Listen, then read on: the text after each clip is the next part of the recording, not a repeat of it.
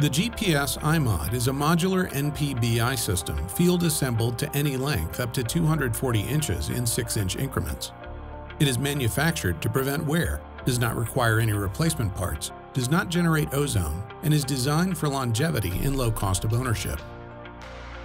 The iMod must be mounted downstream of any filtration. The primary location to mount the GPS iMod is between the particulate filter and the cooling coil. A pre-coil mount will provide coil cleaning. Alternatively, the GPS iMod may be mounted downstream of the particulate filters and coil in a dry location where condensation droplets will not contact or form on the emitters. Before you start the installation, confirm you have iMod 15 watt power supply, iMod power head with a flexible high voltage cable, 6 inch modular sections, end cap for each assembly bar, a minimum of two mounting magnets per bar, nylon screws and nuts for the front or back, and metal screws for the top of the iMod sections. You will also need self-tapping sheet metal screws, electrical wiring to provide power. There should be one iMod bar assembly on each coil up to 60 inches in height. If the coil height is greater than 60 inches, you will need to add an additional bar across the entire width of the coil. The iMod bar should extend over the entire width of the coil. The bar length should be no less than 6 inches and shorter than the finned width of the coil.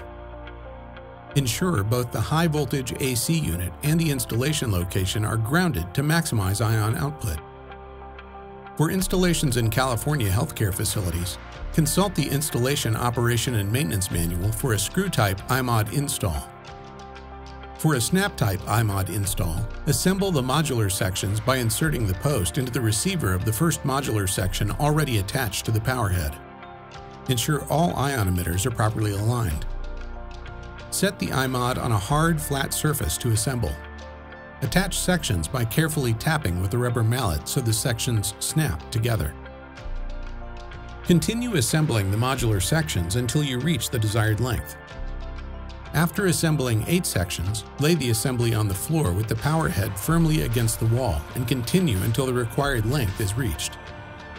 Once iMod sections are snapped together, they cannot be disassembled without being damaged. Once the last iMod section is added, push the nylon end cap into the receiver end of the last piece until it snaps into place. For a twist type iMod install, first remove the end cap from the power head.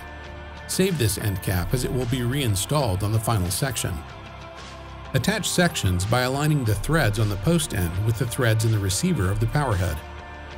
Twist the sections together until the emitters are properly aligned. Once the desired length is reached, twist the end cap onto the final section with a flathead screwdriver. Each end of the bar and every third section must be secured with a magnet or screw. When mounting, the bottom of the iMod should be level with the top of the fin surface area of the coil, with the carbon fiber brushes pointing toward the floor. Maintain a minimum of an eighth inch of clearance between carbon fiber brushes and any metallic or conductive surfaces, including wiring. Stay within a half inch of the coil finned surface. If the distance is greater than a half inch, ground the iMod bar. The power head may be rotated for routing.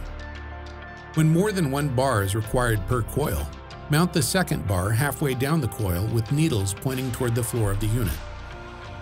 Before wiring, confirm the voltage selector switch is in the correct position for power.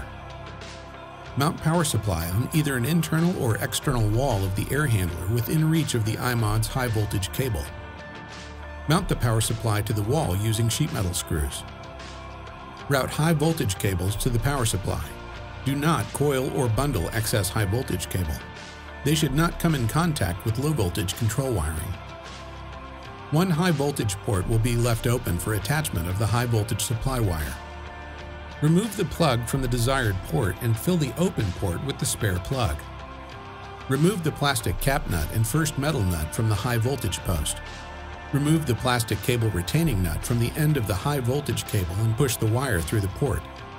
Place the plastic cable retaining nut back over the cable. Place all electrical eye connectors over the high voltage post. Replace metal nut and plastic cap nut and tighten to secure. Insert the high voltage connector into the high voltage port and tighten the plastic cable retaining nut. Connect control wiring if applicable and replace lid. Connect to a continuously powered circuit with the factory provided power cord. The power supply must be grounded using the green wire or grounding lug for all supply voltages.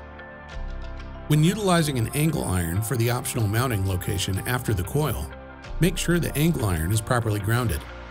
GPS recommends a ground wire from the power supply grounding terminal to the angle iron to ensure proper grounding reference. The iMod is equipped with an internal ionization output sensing circuit and can tie to the BMS BAS for remote monitoring. Once the voltage selector has been set, all high voltage wires are connected and the iMods are mounted. Turn the power switch to the on position. The plasma on light will illuminate when internal or external sensors are detecting output. The internal BAS alarm contacts will close, proving system operation to the BMS.